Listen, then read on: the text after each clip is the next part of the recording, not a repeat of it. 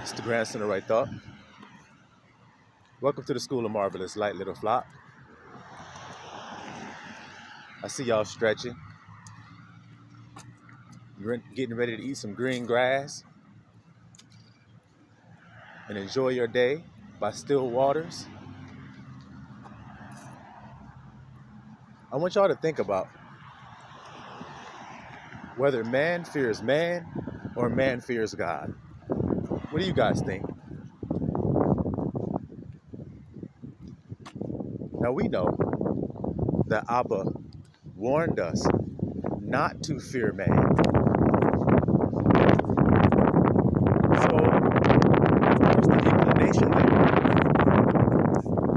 And our natural response to dealing with man is to fear him, to fear other men. So, my question is Is man fearing man or is man fearing God? Now, why does man fear man? Well, Abba says he be scared of man because man can kill him. now that's sad, ain't it? Man is afraid of his brother because his brother has the ability to kill him, to kill his body. That's why he's wary of man. That's sad. Because when one sees his brother, he should feel safe. He should feel reinforced. He should feel supported. You see? He should feel the support of his brother. But instead, when he sees his brother, he feels fear for his life. And this is in the very beginning with Cain and Abel. Y'all know that. So he's fearing for his life. And another way of looking at this fear is judgment. Judgment. Man correlates judgment with life and death. You see? That's what scares him about judgment. It's his life. Whether that be locked away for 30 years, that's like losing your life.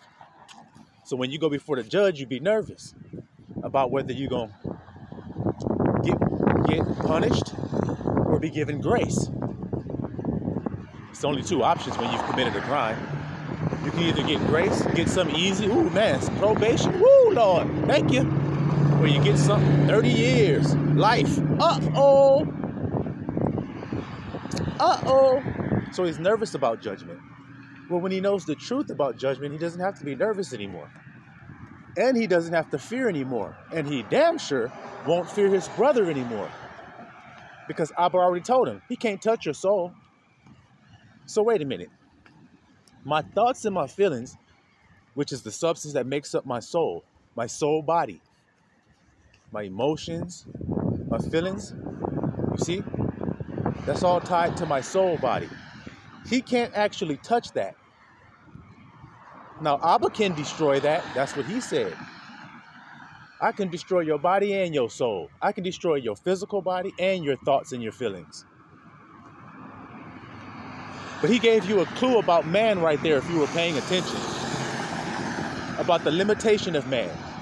Man cannot actually affect your thoughts and feelings. He can only affect your physical experience.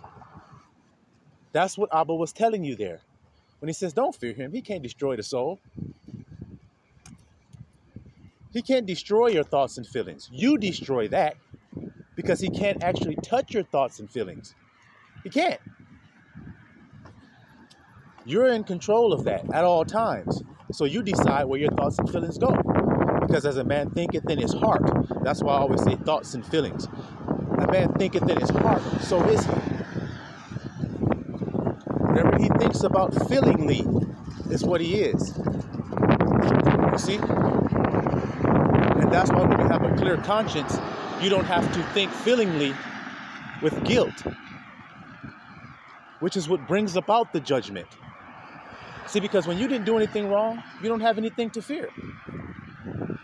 So your thoughts and feelings are fearless inside.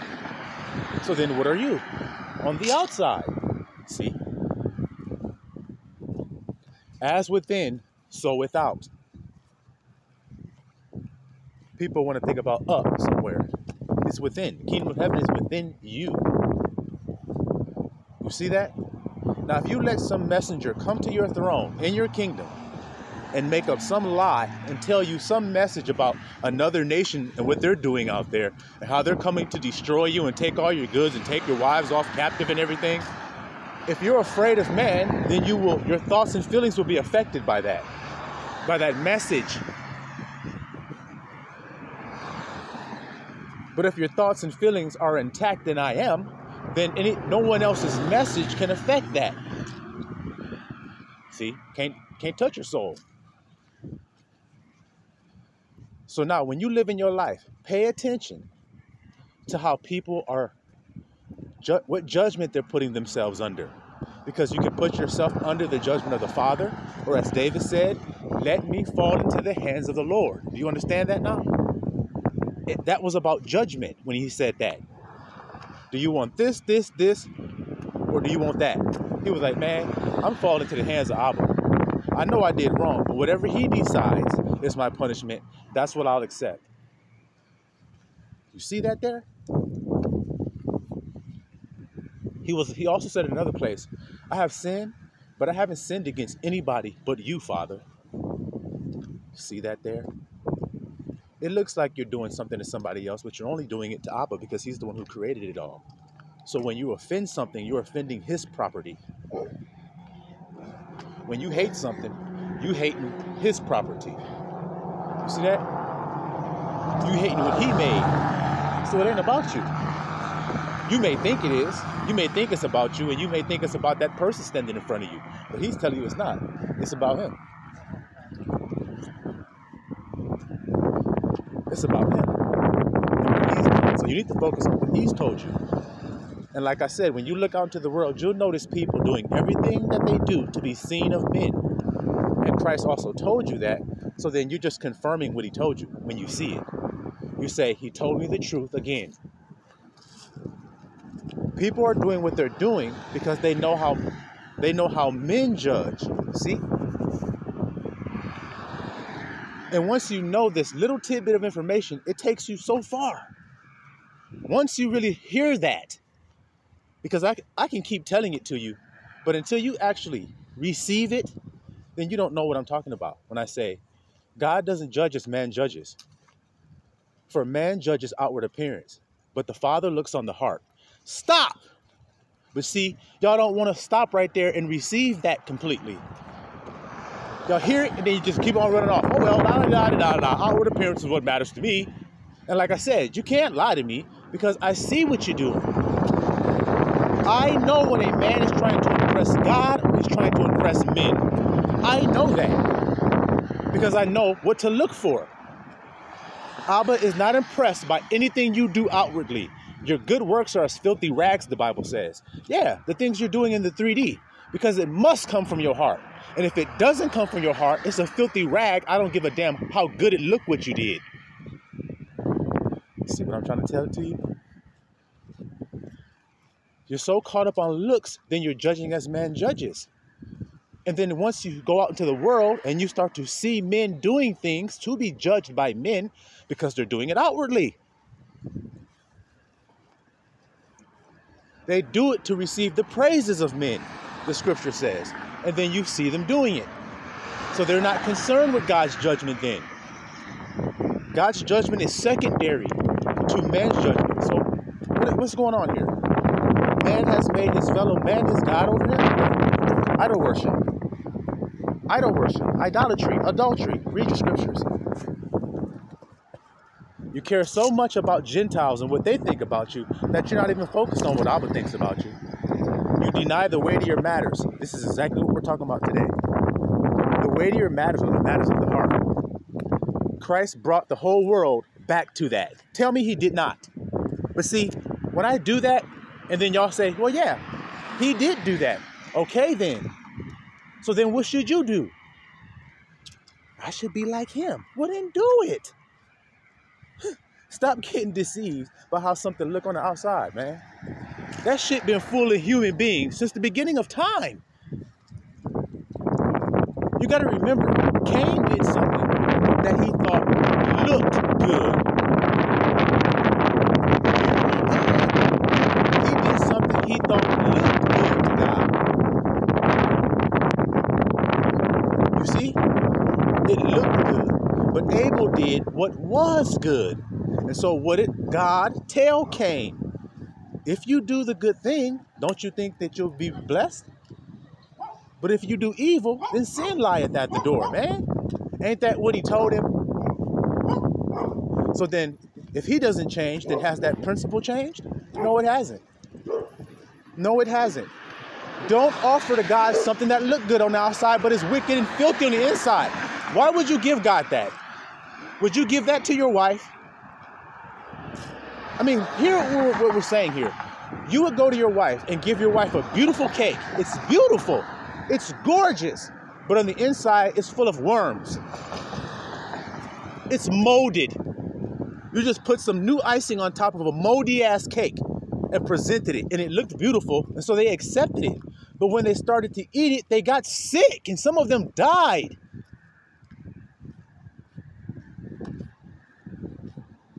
But y'all don't seem to understand that it's not about how it looked to you. It's about what it is to you. That's how God judges a thing. Would shouldn't you? I mean, let's keep it real today. Shouldn't you judge something based off of what it really is and not what you what it looks like it is?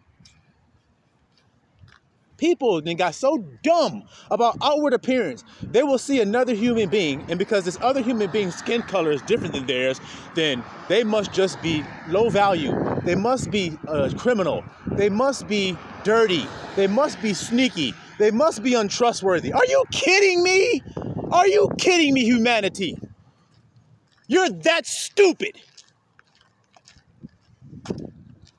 And then humans come up with all these cliche lines that they've stolen from God. Oh, don't judge a book by its cover. Well, why do y'all believe that? But then y'all go along judging books by their cover, dumbasses. Why sit up here and say that then? If you're yourself not gonna do it, just like God said, man, be a doer of his word, not just a hearer only of it. Don't hear this message and say, wait a minute. When I got dressed today, was I getting dressed to appear a certain way unto men so that I could receive glory from men? Was I doing that? And then if the answer is yes, then what are you doing? Committing adultery on God. That's what you're doing. You're, you're, you're, you're, you're being a deceiver. Nobody that is something has to do something to prove that they are something. They just are the thing. They just are it. the hell? They don't have to go, okay, wait a minute. I'm a shovel, but this man doesn't believe I'm a shovel. So I have to dig a big ass hole for this man, for him to realize he can use me as a shovel. What? Don't work like that. He has faith in you that you are what you are, and so he uses you accordingly. And when he uses you, you either work or you don't work. And that proves what you are or not. So then, if that's the case, then if I pick up something that looks like it works on the outside, will it always work? No. But if I pick something that is working on the inside, then does it matter about the outside? If I need the use of the object? Y'all have seen this in your own lives. It'd be an old ass man with an old ass piece of machinery that he's passed down from his grandfather or something. It's an old tool or something that he uses. It's hideous. It's dirty, it's filthy, it's ugly and every damn thing. But it worked. Like his old pickup truck on the farm. It's old as hell, but it worked and it hauls those bales of hay to where he needed to go. But then there's some person saying, why didn't we get a new truck that looks better? Because it may not work better. What I got works right. As y'all say, if it ain't broke, don't fix it. But y'all would rather be in something that looks tremendous and beautiful, that may work for a while. Riding this tractor, ha ha, the hell with that pickup truck over there. Mr. Southerner got over me, Mr. Southers got over there. Look what I have. oh shit, look what I got. Got this John Deere tractor. Oh shit. Yep. Take it back to get maintenance. Take it back to get maintenance. Your shit getting maintenance, Mr. Southers over there hauling his hay. Yeah, he got to take a few more trips, but he can reliably, reliably take those trips because what he got worked from the inside. And y'all know this. That's what I'm saying. Y'all know this principle. There's a nice, y'all remember back in school when those mechanical pencils came out? It's a normal thing now, but I remember when I was young, it was like a new thing. And I used to see those, I used to think that was so cool. Like, wow, man, you got a mechanical pencil, man? Let me borrow that. but the point is, y'all remember that you had those little pencils, and some of them had like 0.3 lead, some of them had 0.5 lead, and you had to have the lead that came in a little dispenser that you had to put into that pencil that fit that pencil so you could make use of it. Y'all remember that? And if the lead was too big, you would try to click it and it wouldn't come out the hole. You'd be like, damn, that's the wrong size lead. Or if it was too little, it just slipped down out the damn hole. You're like, damn, I need the right lead. So until you get the right lead, is that pencil of any use to you or nah? Skeet dee dee dee dee skeet dee dee. You know the answer. You know it. It ain't no good because if you were like me, you had some mechanical pencils that ran out of lead, and that shit used to just sit in your little pouch. Say, girl asking for your phone number, you're like, hey, yeah, yeah, hold on, wait, let me get my pencil pull that pencil out, click, click, click, click. Oh shit, click, click, click. Damn, tell it to me, girl. I remember it. I remember it. Believe me, I'll write it on my heart.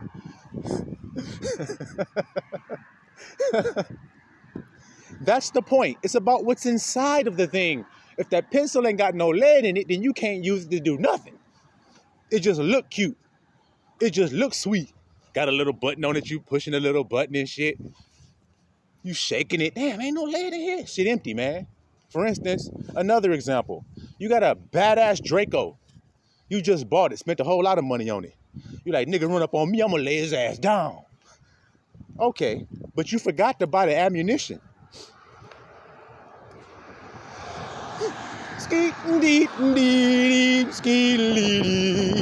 That's right. The nigga ran up on you and you didn't have any ammunition in your gun, but you had the gun. So when you first pulled it out, the guy got nervous. He said, oh, shit, he gonna blast me. When you pulled the trigger and it went clickety click and nothing came out of there, guess what your op did? He said, oh yeah? We ain't got no ammunition in that gun? well, in that case, let's get this party started, buddy. And y'all know that's the case. So once again, we're proving it's about what's going on in the internal. Because if that gun ain't got no ammo in it, Yes, it looks all nice and everything. It looks very dangerous in your hand, but it ain't. It's a dud. It's fake. It's phony. It's not going to hurt me. It's not produ- productive. And y'all think that is different. Those principles exist in everything. I'll keep giving them to you if you need me to, in case you ain't getting this. I would say two or three witnesses establishes a matter. So, okay, let's get another witness. You got a car.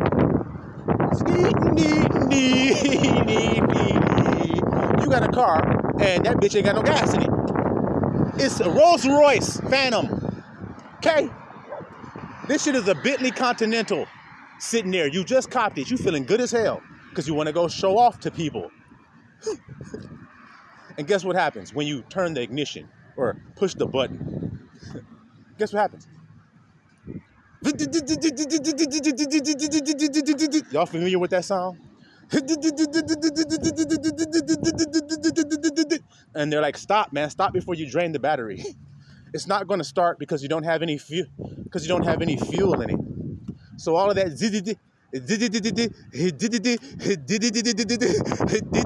all that shit ain't gonna do shit but waste your time and waste all the energy in your battery and probably do worse to your car. So just stop get your gas can, get the Skilly Den down in Sunoco there. Give that clerk five bucks, fill that can up, go back to your car, and let's put that gas in there and now watch it. There we go. Oh boy. What that nigga Mannie Fresh say? I got a quarter tank of gas in my new E-Class. Uh-huh. So I got a badass car with a little tiny ass bit of gas in that shit. Cause I'm hood rich. That's what he said. Hood rich, man. Hood rich is is not just rich. It's a certain type of richness. What is hood rich? I ain't really got a whole lot of money, but I got a little bit of money, so I flaunt it to make it look like I got a whole lot of money. So I got a new E-Class, but it only got a quarter tank of gas.